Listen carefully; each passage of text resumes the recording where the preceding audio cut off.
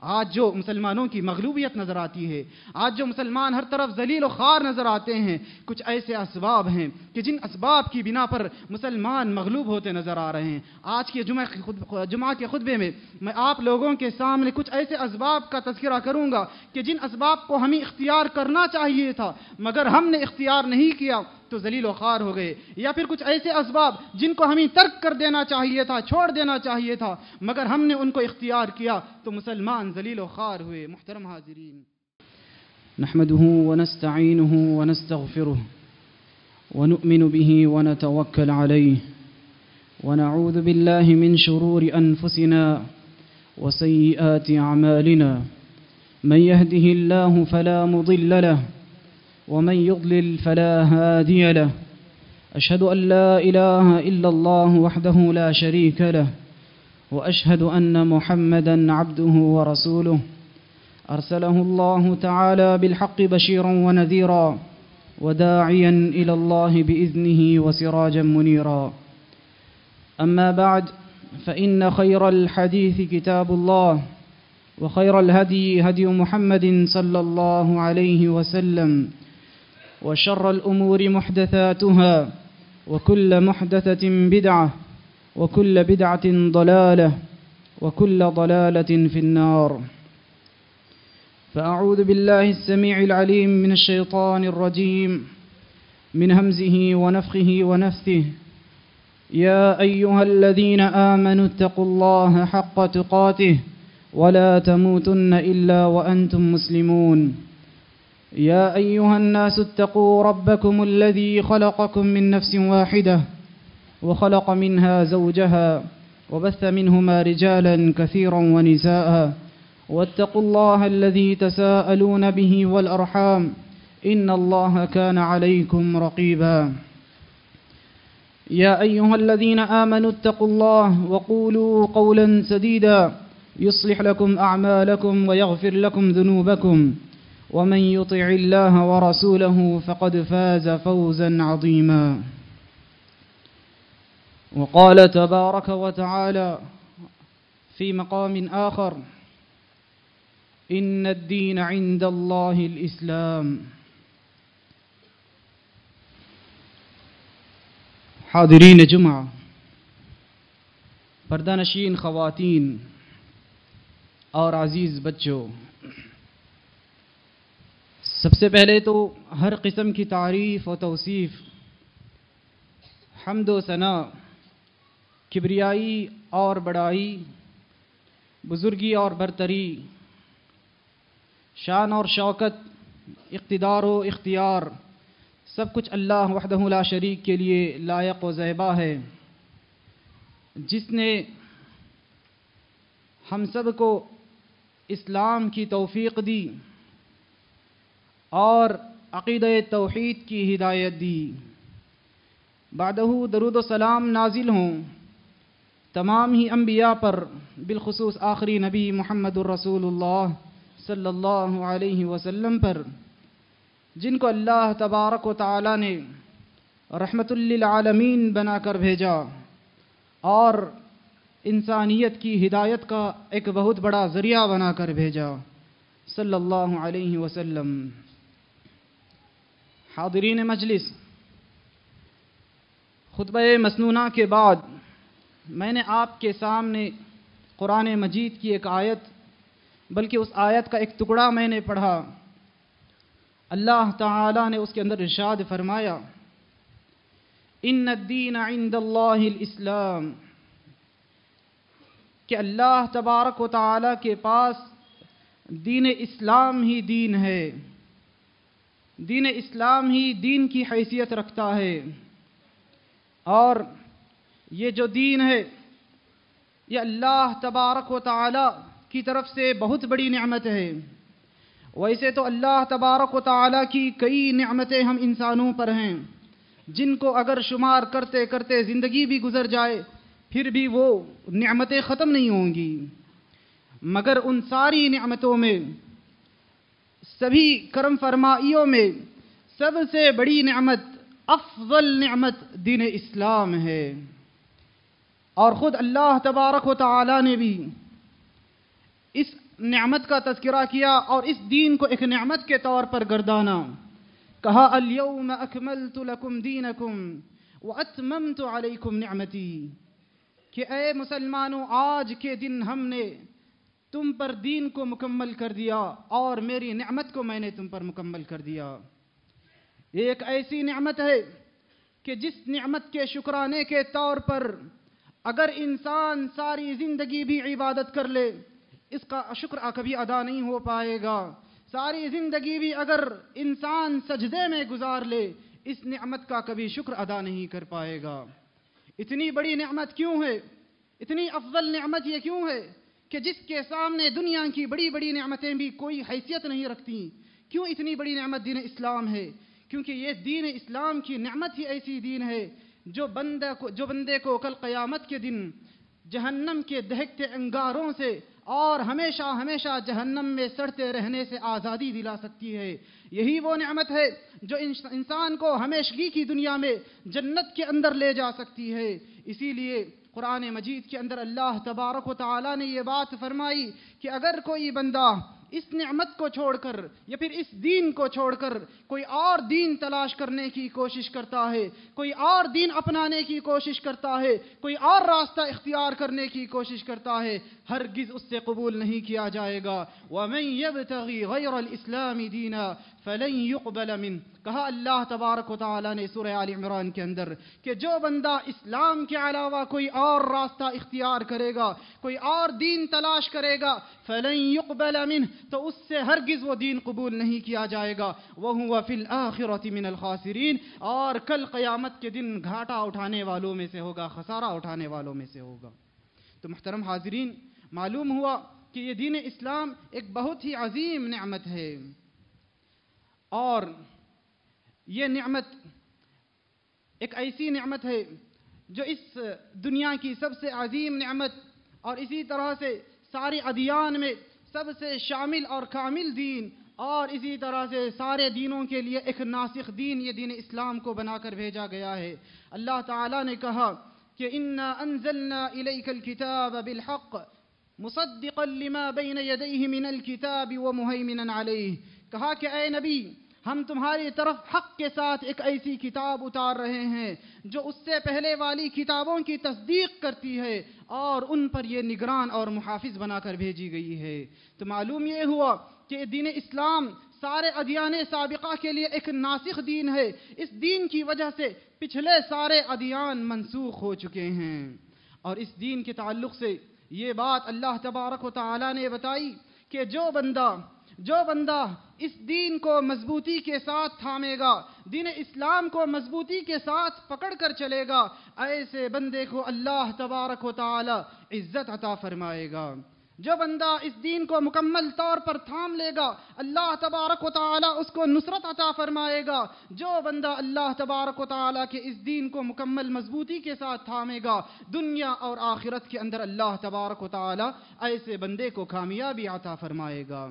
بندہ جس قدر دین اسلام کو مضبوطی کے ساتھ تھامے گا، اللہ تبارک و تعالی اس کے ذکر کو اتنا ہی زیادہ بلند کرے گا، دنیا اور آخرت میں اس کو اتنا ہی زیادہ کامیاب کرے گا۔ اور اس دنیا کے اندر ہم دیکھتے ہیں، تاریخ اس بات کی گواہ ہے کہ کئی قومیں ایسی آئیں، کئی لوگ ایسے آئے جنہوں نے جب دین اسلام کو مضبوطی کے ساتھ تھاما، دین اسلام کو اور اللہ کے احکامات کی مکمل طور پر پیروی کی، تو اللہ تبارک و تعالی نے مشرق و مغرب کا حاکم ان کو بنا دیا۔ مشرق و مغرب کے فتوحات ان کے قدموں میں نچھاور کر دیے اور ہر طرف جہاں جہاں نظر جاتی، انہی کی حکومت نظر آتی۔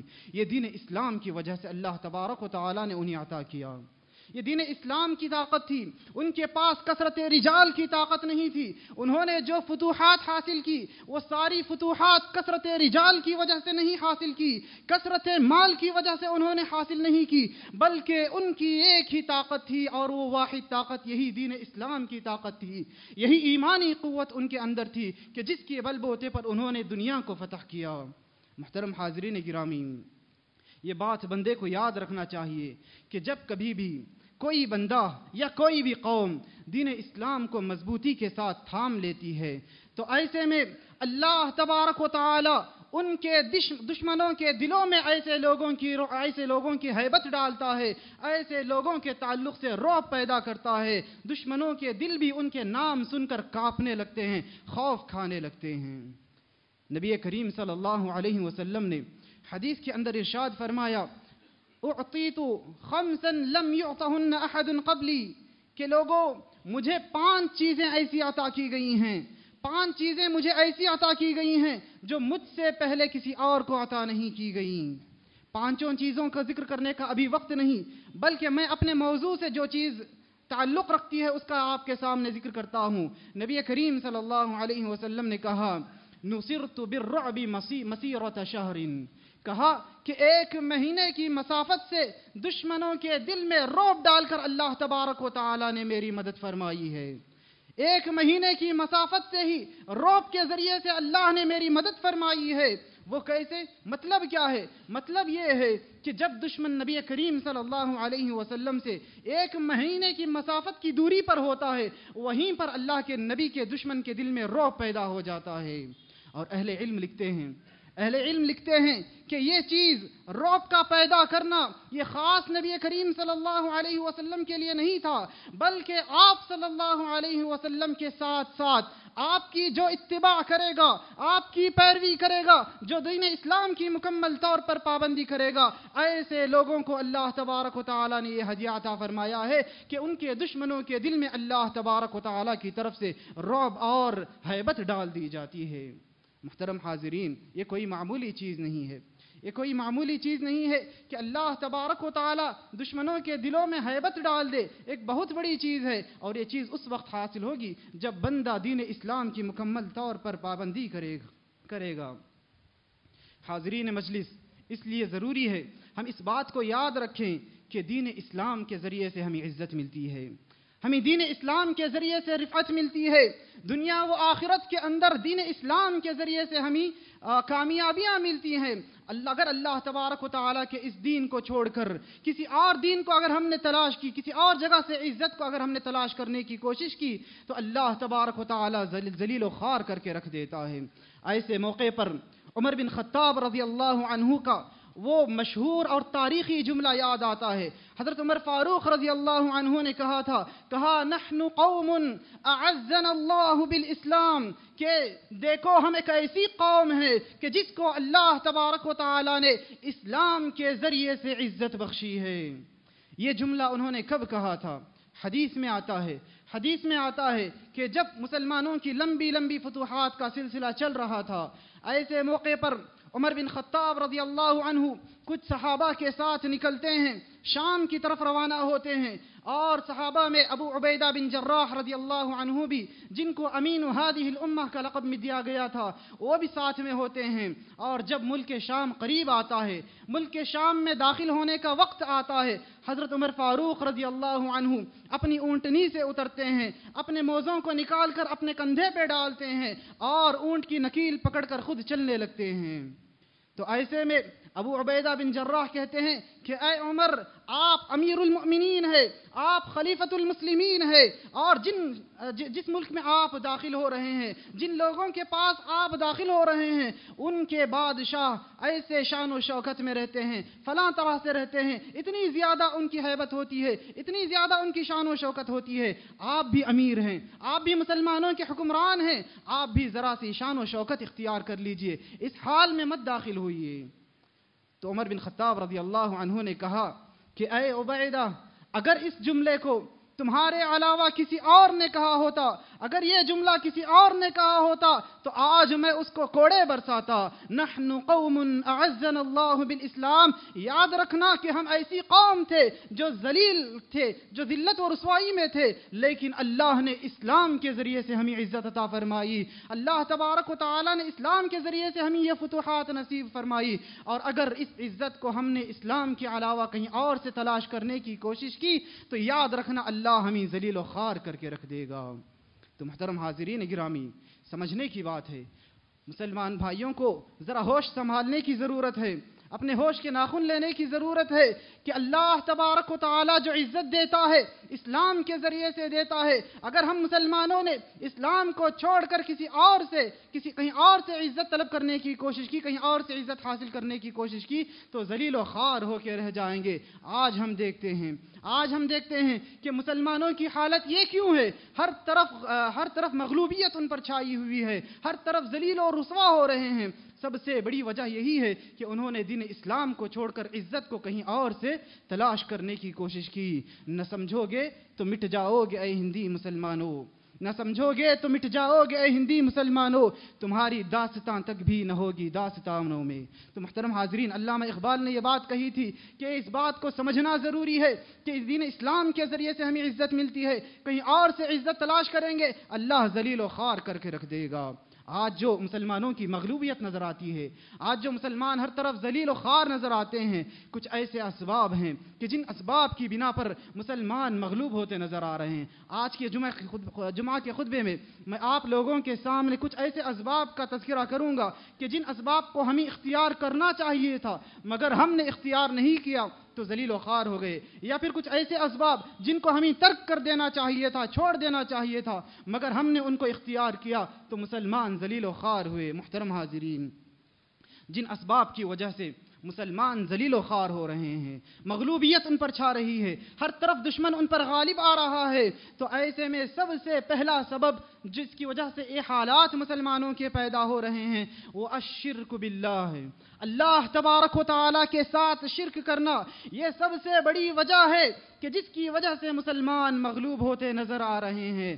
حاضرین جمعہ، قرآن مجید کے اندر اللہ تبارک و تعالیٰ نے ارشاد فرمایا، سنلقی فی قلوب الذین کفروا الرعب بما اشرکوا باللہ۔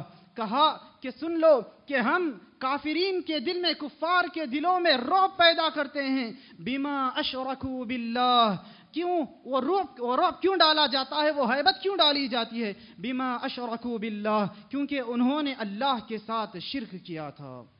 بڑے افسوس کے ساتھ کہنا پڑتا ہے۔ بڑے افسوس کے ساتھ کہنا پڑتا ہے کہ آج مسلمانوں کا ایک بہت بڑا طبقہ شرک میں مبتلا ہے۔ کتنے ایسے مسلمان ہیں جو اللہ تبارک و تعالیٰ کو چھوڑ کر غیر اللہ کے آگے ہاتھ پھیلاتے ہیں؟ کتنے ایسے مسلمان ہیں جو غیر اللہ کے سامنے سجدے کرتے ہیں؟ کتنے ایسے مسلمان ہیں جو غیر اللہ کے نام پر ذبح کرتے ہیں؟ کتنے ایسے ہیں جو غیر اللہ سے مدد مانگتے ہیں؟ کتنے ایسے ہیں جو اللہ تبارک و تعالیٰ کو چھوڑ کر غیر اللہ سے اولاد مانگتے ہیں؟ الغرض کتنے ایسے مسلمان ہیں جو اللہ کے حقوق کو غیر اللہ کو دیتے ہیں؟ کتنے ایسے مسلمان ہیں؟ موسا علیہ صلاۃ والسلام کا واقعہ بتاتے ہوئے قرآن میں اللہ تبارک و تعالیٰ نے ارشاد فرمایا ان الذين اتخذوا العجل سينالهم غضب من ربهم وذلة في الحياة الدنيا. اللہ اکبر۔ کہا کہ جن لوگوں نے بچڑے کو معبود بنا لیا موسا علیہ السلاۃ والسلام کے قوم کے لوگوں کے بارے میں کہا کہ جن لوگوں نے بچڑے کو معبود بنا لیا، ان قریب اللہ کا غضب ان پر نازل ہوگا اور اس دنیاوی زندگی کے اندر ہی ان پر ذلت تاری ہوگی۔ یہ کیوں؟ کیونکہ انہوں نے اللہ کے ساتھ شرک کیا۔ تو سمجھنے کی بات یہ ہے کہ اگر ہم اللہ کی توحید میں اللہ کے ساتھ کسی اور کو شریک کرتے ہیں، توحید کو اپنے ہاتھ سے جانے دیتے ہیں عقید توحید کے اندر خرابی اگر ہمارے پیدا ہوتی ہے، تو یقین مانیے ذلت و رسوائی ہمارا مقدر بن سکتی ہے۔ یہ سب سے بڑی وجہ ہے۔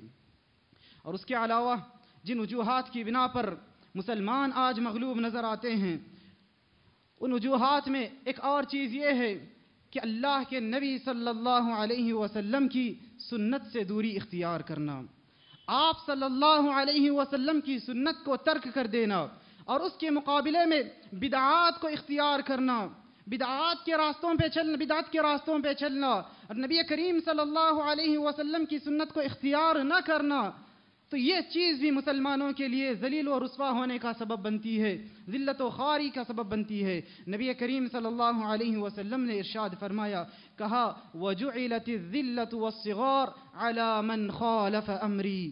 کہا کہ جو لوگ جو لوگ میری سنت کو چھوڑتے ہیں یا میرے حکم کی مخالفت پر اتر آتے ہیں، میرے حکم کی خلاف ورزی کرتے ہیں، ایسے لوگوں پر ذلت اور اور ایسے لوگوں پر رسوائی اللہ تبارک و تعالی ڈال دے گا۔ نبی کریم صلی اللہ علیہ وسلم نے واضح انداز میں کہا کہ جو لوگ میرے حکم کی نافرمانی کرتے ہیں، میری سنت سے دوری اختیار کرتے ہیں، بدعات کو اختیار کرتے ہیں، سنت سے دور ہو جاتے ہیں، ہم کئی سنتیں نبی کریم صلی اللہ علیہ وسلم کی سنتے ہیں۔ ایک کان سے سنتے ہیں، دوسرے کان سے چھوڑ دیتے ہیں۔ احادیث پڑھتے ہیں، احادیث سنتے ہیں، مگر عمل سے کوسوں دور نظر آتے ہیں۔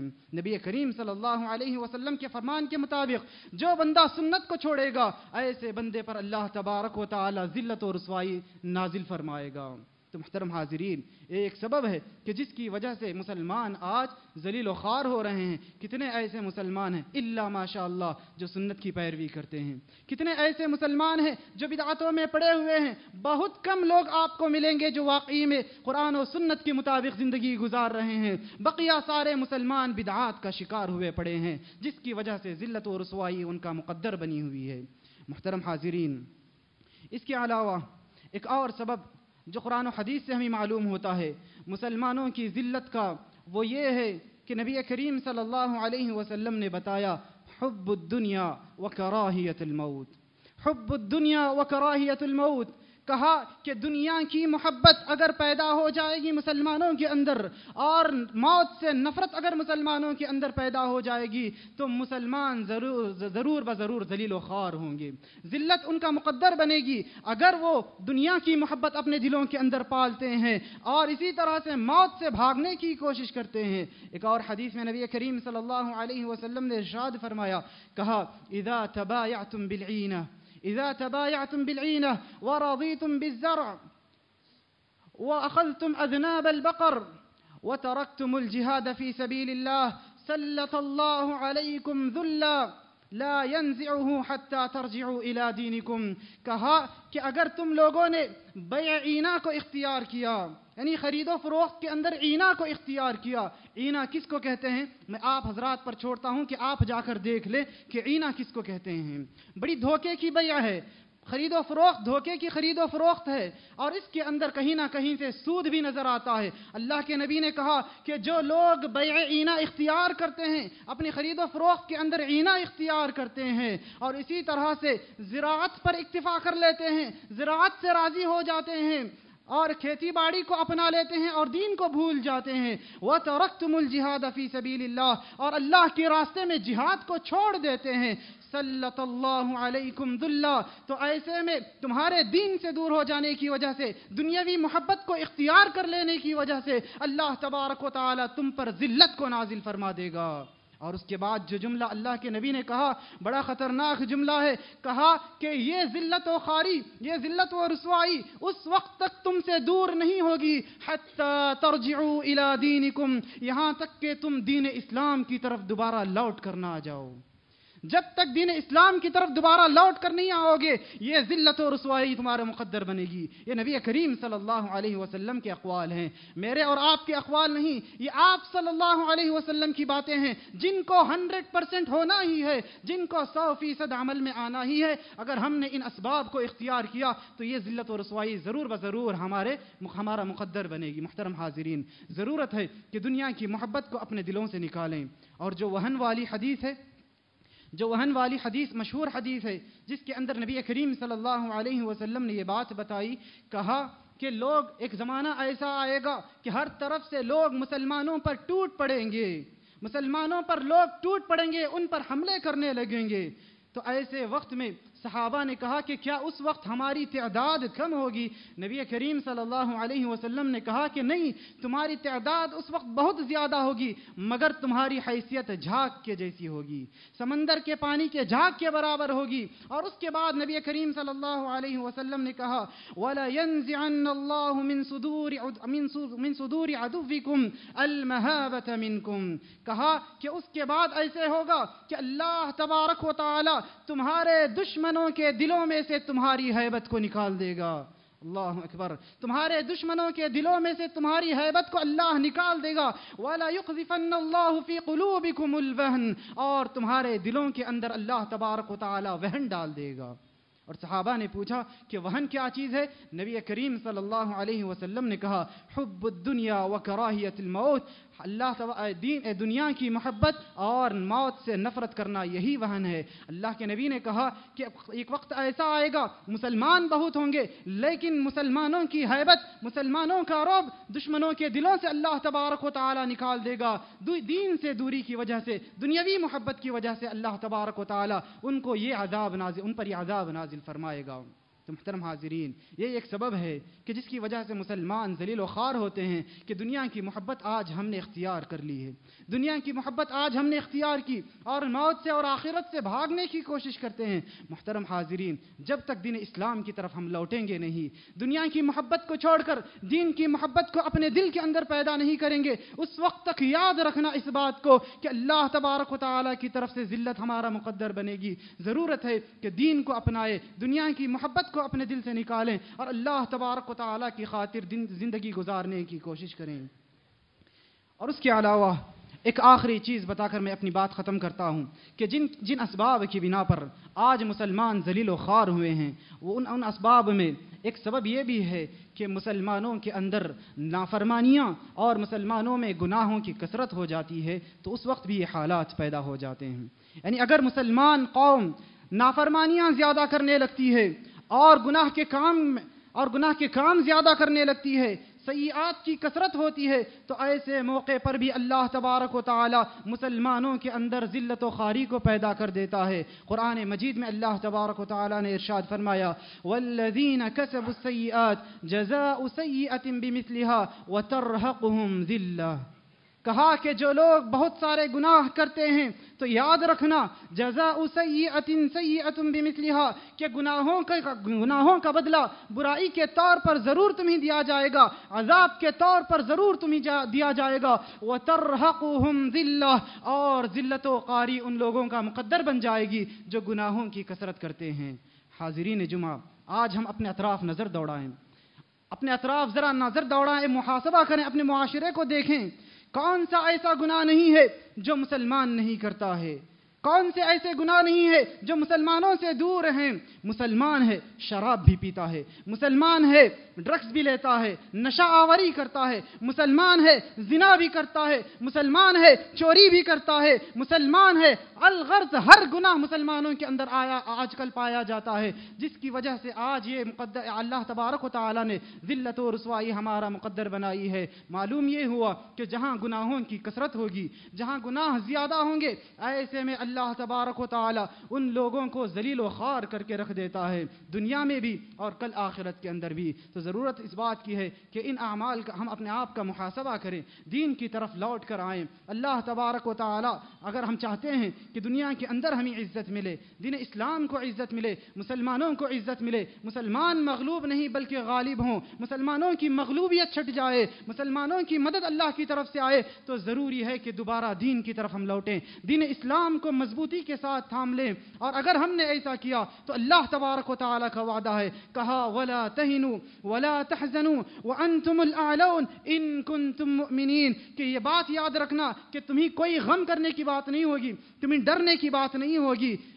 اگر تم ہی بلند رہو گے وانتم الاعلون، تم ہی سر بلند رہو گے ان کنتم مؤمنین، شرط یہ ہے کہ تم مؤمن بن جاؤ، ایمان والے بن جاؤ، دین اسلام کو مضبوطی کے ساتھ تھام لو۔ تو یہ اللہ تبارک و تعالی کا وعدہ ہے کہ اللہ تبارک و تعالی ضرور بضرور تمہیں کامیاب بنائے گا اور دنیا کے اندر بھی اور آخرت کے اندر بھی تمہارا مرتبہ بلند کرے گا۔ اللہ سے دعا ہے کہ اللہ تبارک و تعالی کہیں سنی باتوں پر عمل کرنے کی توفیق نصیب فرمائے۔ اور اللہ تبارک و تعالی ہماری اپنی امت کو شرک اور بدعات سے بچے رہنے کے اللہ توفیق نصیب فرمائے۔ اللہ تبارک و تعالی ہمارے اپنے مسلمان بھائیوں کے دلوں سے محبت، دنیا کی محبت کو نکال دے اور اللہ تبارک و تعالی دین کی محبت پیدا فرمائے۔ اور اللہ تبارک و تعالی ہم تمام مسلمانوں کو اللہ کی نافرمانیاں کرنے سے بچے رہنے اور اللہ تبارک و تعالی کی فرما برداری کرنے کی توفیق نصیب فرمائے۔ اقول قولی هذا واستغفر الله لي ولكم ولسائر المسلمين من كل ذنب فاستغفروه إنه هو الغفور الرحيم.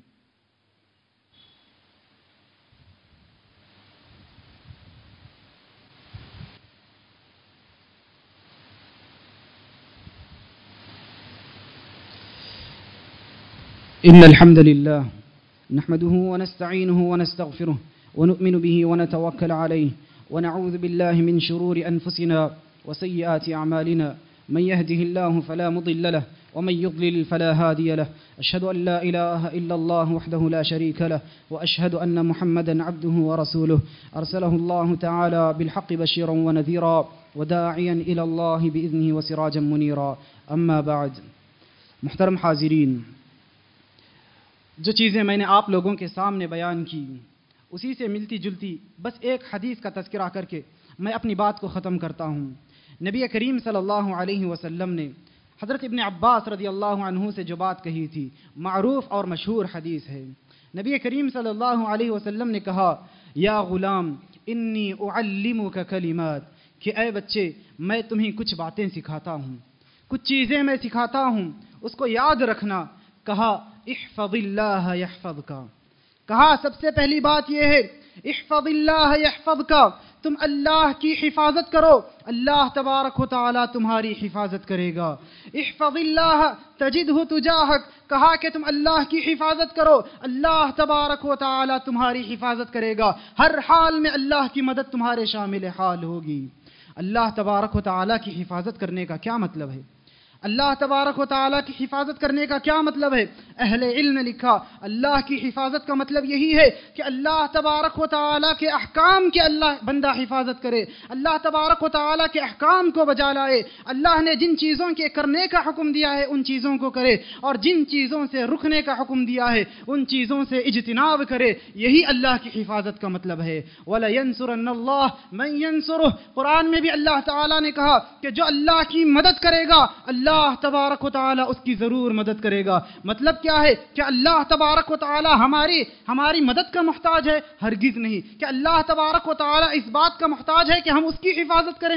ہرگز نہیں۔ بلکہ اللہ تبارک و تعالی کی مدد یا اللہ کی حفاظت کا مطلب یہ ہے کہ بندہ دین اسلام کی حفاظت کرے۔ اسلام کی حفاظت کرے۔ اسلام کے احکامات کی حفاظت کرے۔ اسلام کے احکامات کو مضبوطی کے ساتھ تھام لے۔ تو یہ گویا کہ اللہ کی حفاظت کا مطلب ہے۔ اگر ہم امینین ایسا کرتے ہیں۔ اگر مسلمان یہ عمل کرتے ہیں، اللہ نے وعدہ کیا ہے، اللہ یحفظک کہ اللہ تمہاری حفاظت کرے گا، اللہ تمہاری مدد کرے گا۔ اور اس کے بعد اللہ کے نبی صلی اللہ علیہ وسلم نے کہا وستعین باللہ اگر مدد مانگنی ہو تو اللہ سے مانگو، شرک نہ کیا کرو۔ اگر کوئی بھی چیز مانگنی ہے، اذا سألت فاسأل اللہ کوئی بھی چیز مانگنی ہو، اللہ سے مانگو۔ کسی اور سے نہ مانگو۔ شرک میں نہ پڑو۔ اللہ تمہاری مدد نہیں کرے گا اگر تم شرک کرو گے۔ اور اس کے علاوہ نبی کریم صلی اللہ علیہ وسلم نے آگے کہا کہ اگر یہ ساری امت یعنی اس دنیا کے سارے کے سارے لوگ بھی مل کر اگر مسلمانوں کو یا کسی بھی بندے کو نقصان پہنچانا چاہیں تو اتنا ہی نقصان پہنچا سکتے ہیں